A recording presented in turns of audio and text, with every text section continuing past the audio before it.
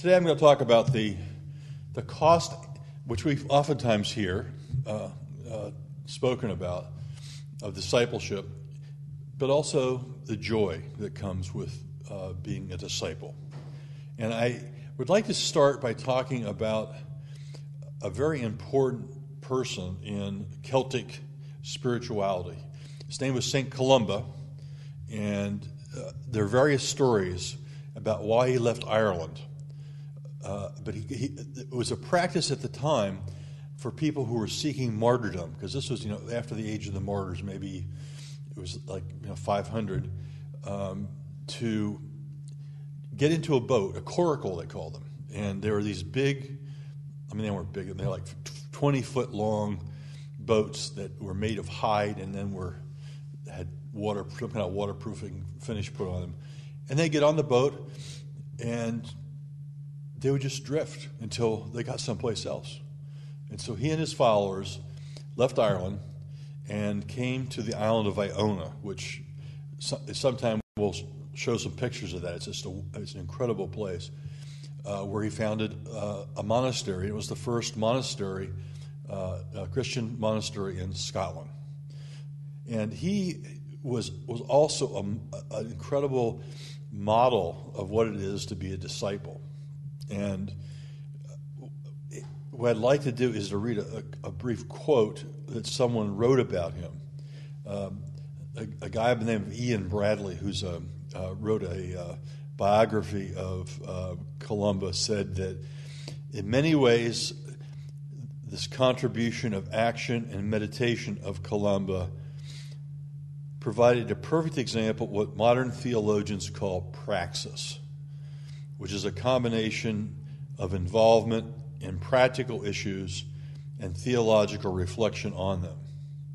In the words of a poem written about the, just about Columba, just a year or two after his death, the poem said, What he conceived keeping vigil by, by action, he ascertained. Now, I, I agree that Columba uh, was and is a wonderful model of discipleship of this circle of prayer and practical action.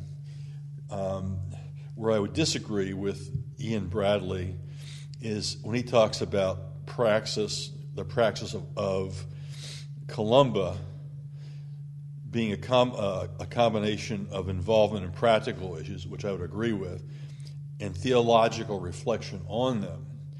That I would not so much agree with because the, the, the pattern of prayer that Columba engaged in was a contemplative practice that, through God's grace, transforms us.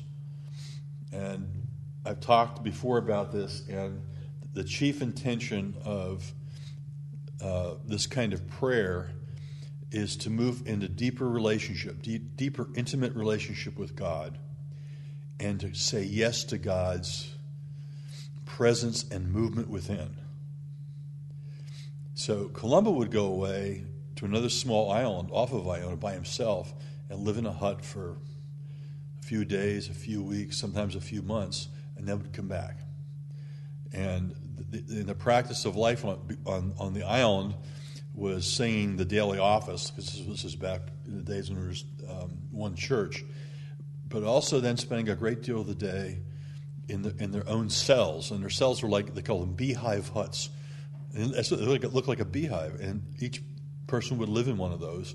And these were very small um, monasteries. They weren't monasteries in the sense that we think of them. They were just these huts, and they might have a, an oratory, you know, uh, which would be where they gathered to, for worship. But there might only be 10 or 12 or 14, 15 people who were a member of, of one of these monasteries. And if it got much bigger, they, they go and start another monastery. Uh, so it was, it was, a, but, but Columba uh, engaged in this, what I would call a, a, both a praxis of um, uh, practical contemplation and practical action. And he showed us how one's life can be transformed by prayer and also showed how prayer assists us in our work in our everyday life. It can be very difficult to be doing the things that God calls us to do uh, without stumbling a whole lot. And th- this, this back and forth between prayer and action is something that I personally have found extremely helpful. And I'll talk some more about that when I talk about working some of the, the ministry on, with folks on the margins, um, um, I think maybe next week. So, praying in secret is one of the one of the, one of the essences of this, and I mean, and it's not just the issue of pridefulness and you know uh, showing off, but it's but it, it's also a wisdom teaching because when we are alone with God, when we're hanging out with God, continuing to say yes to God's agendas and not our own. And in contemplative prayer, what that means is just being quiet then things happen. Things start to happen in our lives. And that's where you know, Christ begins to live more and more in us. And we, as single, egocentric human beings, begin to die. And as we begin to die to our own agendas, to our own idolatries, to our own ways of trying to put uh, have, have different idols that we worship rather than God, we are healed and we become freer. Uh, the uh, following Christ is not about bliss, although we sometimes have bliss. It's not about pain, although sometimes we have pain. It's not about visions, although sometimes we have visions. It's, it's deeply about freedom. It's about the it's about the business, it's about the notion, it's about the way of living that we no longer are controlled by the things that have controlled us all of our life. And as I've mentioned before, also, the Celtic the- theological worldview is one where deep and profound goodness is at the heart of every human being.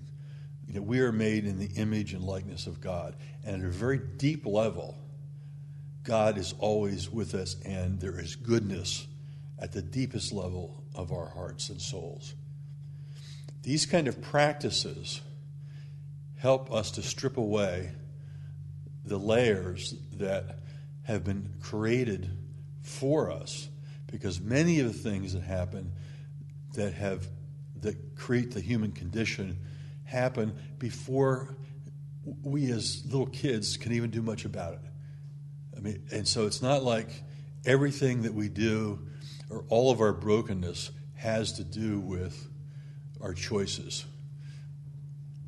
Some of it has to do with what was done to us. Much of it has to do with that. And I'm not saying we can't make plenty of bad choices, because we sure can.